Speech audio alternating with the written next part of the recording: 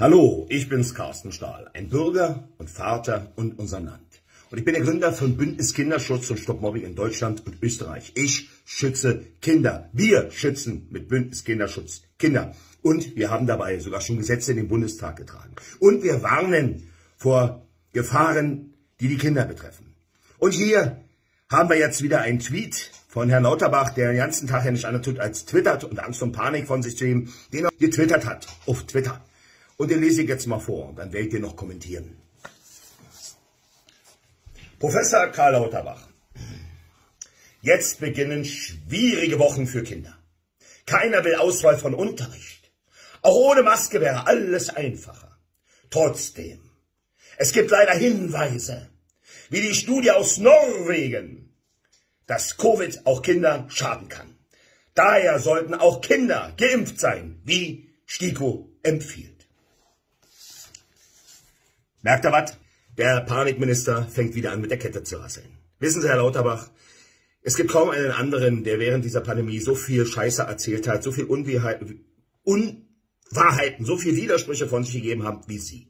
Sie haben so einen Mist bisher erzählt und Sie haben die Menschen bewusst oder gezielt oder weil Sie keine Ahnung haben belogen. Alleine Ihre Aussage im letzten August.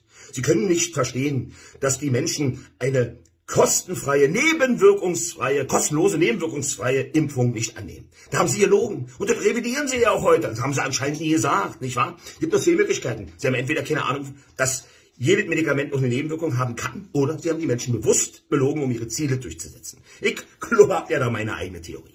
Aber wissen Sie, dass Sie jetzt wieder anfangen, hier diese Scheiße von sich zu geben und vor allen Dingen die Kinder, auf dem Rücken der Kinder diese Nummer hier abzuziehen, kotzt mich an und kotzt viele Millionen Eltern an. Sie haben jegliche Glaubwürdigkeit durch ihre, durch ihre Unwahrheiten und ihre Widersprüche verloren. Da kriegt man ja schon zum Kasper, wenn man überhaupt noch über sie redet. Dass man überhaupt noch über sie redet, ist unerträglich. Ihre Machtinteressen und sich selbst ihr Ego zu streicheln und ständig in irgendwelchen Talkshows zu sitzen, ständig in den Medien zu sein. Ich weiß, da geht ihnen einer ab. Ja, da freuen sie sich und dann klatschen sie endlich Aufmerksamkeit. Aber auf wessen Kosten? Auf die Kosten der Kinder, auf die Kosten der Menschen. Meine, wisst ihr, wenn jemand das loben möchte, was Herr Lauterbach erzählt, dann, dann globt das doch. Könnt auch an Weihnachtsmann loben, auch an Pinocchio und Pippi Langstrumpf. Könnt ihr alles machen. Könnt ihr alle tun, ist eure freie Entscheidung. Ist genauso eure freie Entscheidung, ob ihr euch impfen lässt oder nicht. Aber wissen Sie, Herr Lauterbach, wir haben Sie gewarnt. Wir haben Sie und auch Herrn Spahn damals gewarnt, noch vor dem ersten Lockdown, dass wenn ihr die Kinder in die Lockdowns gibt, dass die Kinder einen hohen Schaden nehmen durch Missbrauch, durch Gewalt, auch Suizide werden steigen. Alles genau das ist eingetreten, Sie haben nicht gehört. Heute versuchen Sie das alle zu revidieren und jetzt fangen Sie schon wieder an und quatschen von Masken. Ihr, ihr, die Heuchler schlechthin, die ja keine Maske tragen. Ich meine, gut, dass Sie immer eine tragen, ist ja wenigstens, Sie müssen ja die Show da durchziehen. Aber ob der Ober ob der Obermeister ist, Herr Scholz oder Herr Habeck, die über den Wolken ohne Masken fliegen und Sie sagen dann auch noch, ja, dann ist es halt so. Wie arrogant, wie ignorant seid ihr eigentlich? Und dann jetzt auf dem, auf dem Oktoberfest hat man gesehen, eure grünen Ampelkollegen, wie sie da feiern. Halala, wir sind die Besten, wir sind die Schönsten. Nicht nur, dass wir in der Pandemie, wo alle keine Kohle haben, mit fetten Biercreme und Weißwürsten anstoßen. Nein, wir stehen über allen Maßnahmen und Regeln und wenn man dann ihr Schwafel hört, wie sie das irgendwie versuchen wollen zu begründen, ja, und wie sie begründen wollen, warum den Flugzeugen keine Masken mehr braucht werden und in den Bahnen schon, Mann, wenn man diese Scheiße hört, ja, so viel Widersprüche, ja, wie Virusse von A nach B gehen und dann auf einmal aussteigen oder da sind und da nicht, es ist so unglaublich. Und wissen Sie, wenn es da Ihnen oder Lauterbach, wollen Sie doch noch Jahrzehnte da drin bleiben, weil Sie hatten vorher nicht zu melden, keiner hat sich vorher für Sie interessiert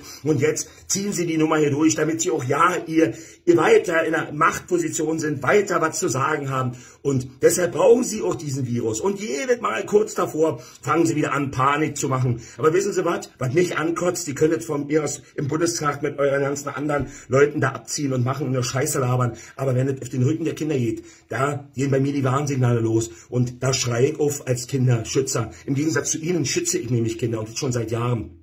Ich habe vor Jahren noch nie was von Ihnen gehört. Und noch nie vor zwei Jahren oder drei Jahren noch nicht mal von Ihnen gehört, dass Sie in irgendeiner Weise sich für die Kinder einsetzen. Der einzige, was ich mitkriege, ist, dass hier immer bloß gefordert wird, impfen, impfen, impfen, ja. Und wenn es dann mal auf, auf Aufklärung geht, da wird doch immer geschwiegen. Da wird doch nicht darüber geredet, was da alles so ist, ja. Ich weiß, ihr konntet das lange mit irgendwelchen Nazi-Theorien und Schwurbler-Theorien abtun. Aber jetzt, wo so viele Fragen sind, werden sie nicht beantwortet. Und jetzt fangen sie schon wieder an, nicht nur, dass sie in der Schule rumrennen und die Kinder da irgendwie manipulieren wollen, Nein, Sie fangen auch hier an, wieder zu twittern. Wissen Sie was? Tun Sie mir den Gefallen. Löschen Sie endlich Ihren Twitter-Account, ja, und machen Sie endlich Ihren verdammten Job und hören Sie auf, Ihr Ego zu polieren mit irgendwelchen Medienauftritten, nur um sich irgendwie in Szene zu setzen. Das ist unerträglich. Sie sind mir als Mensch vollkommen egal. Ich wünsche Ihnen alle denkbare Jute. Aber was Sie hier mit den Bürgern machen und vor Dingen mit den Kindern, ist untragbar und auch nicht mehr hinnehmbar. Und da muss man auch aufschreien, weil es einfach reicht. Es reicht und es stinkt zum Himmel. So viel Scheiße. Und immer wieder Genau dann, wenn es soweit ist, immer wieder, man kann danach die Uhr stellen, nach so viel Mist. Killer-Varianten. Alle werden sie sterben, wenn sie nicht bis März geimpft sind oder Chinesen und wie ganze Scheiße alles hieß. Und das muss man mal nennen. Und lassen Sie uns doch gerne mal eine Talkshow sitzen. Ich würde gerne mal sehen, wie Sie vor mir rumstammeln und diese Scheiße davon sich geben. Ich werde nicht, bestimmt nicht mit Sicherheit zurückhalten. Ich mag vielleicht eine Frau Maischberger machen und Ihnen da vielleicht, oder auch der ein oder handverlesene Gast, aber mit mir nicht. Mit mir nicht. Ich ich erhebe meine Stimme, weil es mich einfach ankotzt, was hier ist. Und ob ihr euch impft und ob ihr euch nicht impft, ist doch eure freie Entscheidung. Ihr könnt doch Herrn Lauterbach glauben, wenn ihr das wollt. Ja, ihr könnt auch Pinocchio glauben, auf einen Weihnachtsmann oder einen Storch glauben. Das könnt ihr alles machen. Ist eure freie Entscheidung. Macht mit eurem Körper, was ihr wollt. Aber, dass hier ständig die Kinder instrumentalisiert werden und dass hier ständig so eine Scheiße hier labert wird und irgendwelche unsinnigen und nicht verständlichen Maßnahmen oder irgendwelchen Prioritäten genannt werden. Ach, fliegen darf man jetzt, dann ist es halt so, haben sie gesagt, ja. Nee, wir haben, wir haben nur das aus den Flugzeugen rausgenommen, weil wir euch erwischt haben, weil wir euch bei dieser Lüge und der Heuchlerei erwischt haben. Und auf einmal dürfen sie alle wieder ohne Maske fliegen. Aber in der Bahn, wo viel mehr Platz ist, das ist ganz anders. Ja, richtig, da steigen die Virus auch manchmal einfach unterwegs aus. Ich weiß, ja, es ist so unglaublich. Und sag mal, ihr hört doch sonst immer auf die Amerikaner und etwa die Amis haben. Der Biden hat doch gesagt, die Pandemie ist vorbei. Macht er das jetzt nicht? Er macht doch sonst immer so wie ein Hündchen, Männchen, wenn die Amis was sagen. Das nicht, zählt das nicht. Andere Länder drumherum machen es auch nicht, nur wir machen immer weiter. Läuft, läuft, läuft. Ich weiß, habt das schon verstanden. Ja, aber irgendwann muss auch mal Schluss sein. Geben Sie mal ein bisschen langsamer Ruhe. Es ist nämlich unerträglich. Und schmeißen Sie Ihren Computer weg oder lassen Sie endlich Ihren Twitter-Account sperren. Weil, oder gehen Sie bitte auf, weil das ist langsam gefährlich. Und auch ganz ehrlich, vielleicht für Sie und Ihre eigene ja, Dynamik vielleicht. Die Menschen haben nicht die Schnauze voll. Vielleicht haben sie es auch nicht mitbekommen. Ja? Aber ich weiß, ihr alle bekommt ja nicht mit, dass die Menschen die Schnauze voll haben. Ihr macht einfach weiter. Aber wisst ihr, irgendwann ist mal Schluss im Schacht. Irgendwann reicht es den Menschen.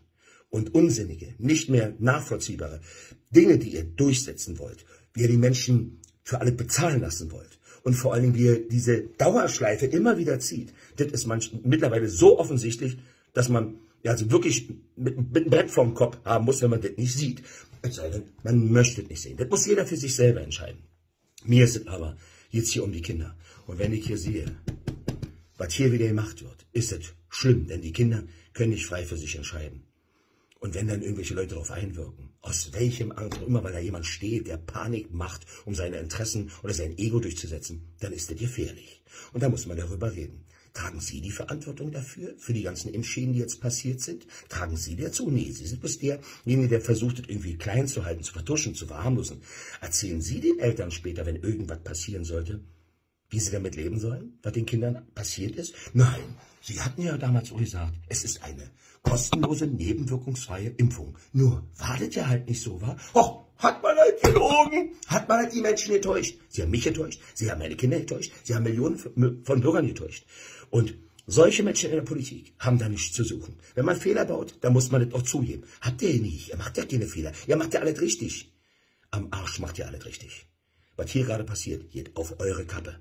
Ihr tragt dafür die Verantwortung, für das, was hier gerade in unserem Land passiert. Genauso auch dafür, und da tragen Sie die direkte Mitverantwortung für das, dass Sie die Menschen haben, das Glauben gemacht und das nicht so war. Und jetzt stehen die Menschen da und sie sagen, es soll immer weitergemacht werden. Grüßen Sie mal Ihre Pharmaindustrie. Vielleicht warten ja schon irgendwann für später, wenn Sie fertig sind mit Ihrem Job, große, große Posten auf euch alle. Könnt ihr alle machen. Fakt ist aber, dass es so nicht weitergehen darf. Macht das, was ihr für richtig hört. Haltet, aber hört auf euren Verstand. Und vor allen Dingen, denkt daran, es geht hier um eure Kinder. Um eure Kinder. Um unsere Kinder. Und nicht um die Machtgeilheit oder die Machtinteressen von irgendwelchen Politikern, denen es vor allen Dingen nur um sich selbst geht.